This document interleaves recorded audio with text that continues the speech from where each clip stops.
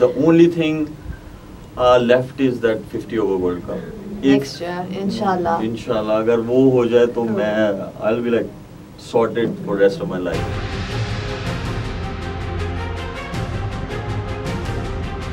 मेरा last world cup है 50 over cricket ख़त्म। और अ, मेरे ख्याल में अ, मैं जो डिसीज़न ले लेता हूँ वो वही होता है और इंशाल्लाह ये है।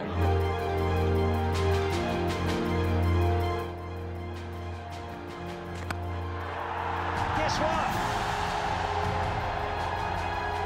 Yeah, that's what. It's gone all the way. This time, Malik.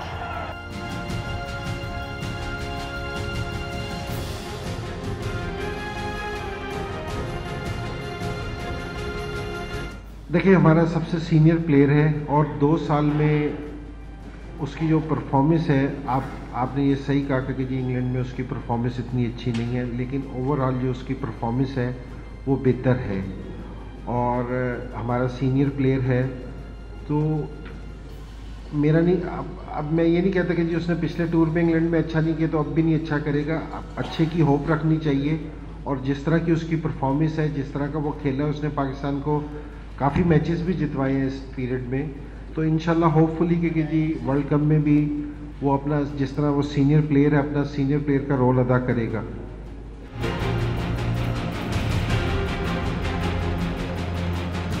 मैं हमेशा अल्लाह ताला से एक ही दुआ करता हूँ कि मेरा क्रिकेट करियर जो एंड हो, वो बहुत इज़्ज़त से हो।